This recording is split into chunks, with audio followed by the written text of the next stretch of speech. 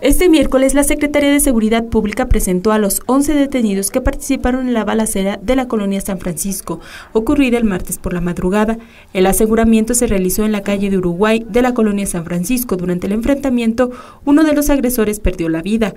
En dicho operativo también se aseguraron ocho armas largas tipo fusil, una arma corta tipo revólver, una arma corta tipo escuadra, una granada expansiva, 10 cargadores para R-15, un cargador calibre 9 milímetros, 410 18 cartuchos de diferentes calibres, 9 teléfonos celulares y un vehículo tipo Jetta modelo 2009, color gris con placas de circulación VDS 4106, el cual tiene reporte de robo.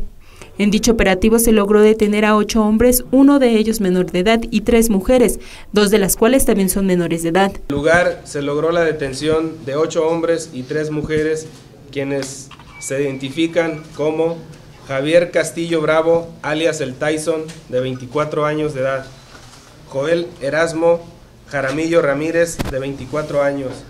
José Guadalupe Alvarado Álvarez, alias El Gato, de 24 años. Oscar Guerrero Gómez, alias El Ranger, de 26 años. Roberto Bertis Lara, alias El Soldado, de 25 años.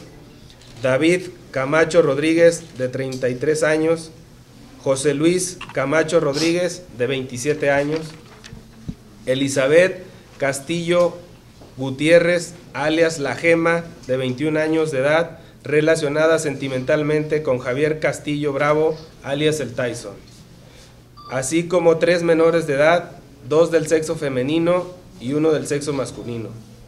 Asimismo, se informó que las personas detenidas manifestaron pertenecer al grupo delictivo de los Zetas y se les vincula en por lo menos 20 ejecuciones. Los detenidos y el armamento fueron puestos a disposición de las autoridades correspondientes. Noticieros Canal 7.